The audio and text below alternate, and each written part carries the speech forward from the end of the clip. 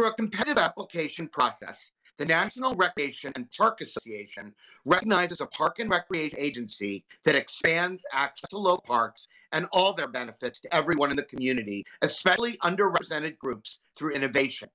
When it comes to innovation, Hillsborough Parks and Recreation is the best. Its deep commitment can be seen daily at the Leslie Miller Jr.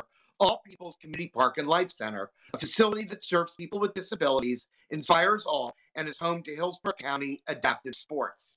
This program, which serves veterans and residents with disabilities, has blossomed to include 300 athletes enjoying 26 sports, including wheelchair basketball, adaptive archery, and adaptive swimming. But just like the athletes they serve, Hillsborough County Adaptive Sports has elevated and expanded its game, landing one of nine spots in the first USA Wheelchair Football League. Our team's name should be familiar to everybody, the Buccaneers. The program was created to provide access to football, increase competitive sport opportunities, and serve veterans. Most team rep members represent minorities. The program is 100% free, removing financial barriers some players face.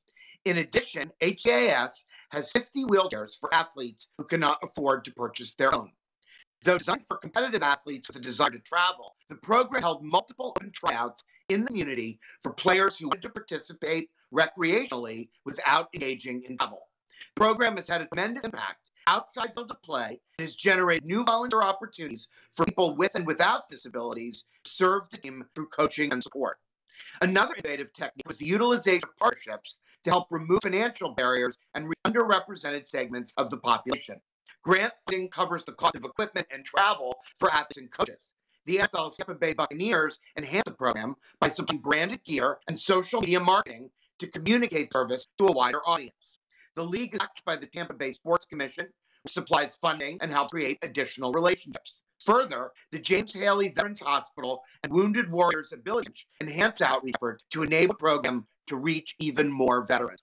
For these fabulous accomplishments and many others, the National Recreation and Parks Association honored Hillsborough County Parks and Recreation with its Innovation in Social Equity Award.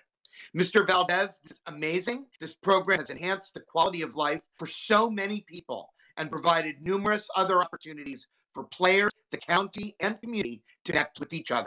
This is what public service is about. We congratulate you and are thrilled on this tremendous accomplishment for your department. So please say a few words and, and again, congratulations. Thank you, Commissioner Cohen, and thank you to all the board of commissioners. This award is most important to us because equity is at the center of all we do, and we strive for a future where everyone has fair, just access to quality and recreation opportunities.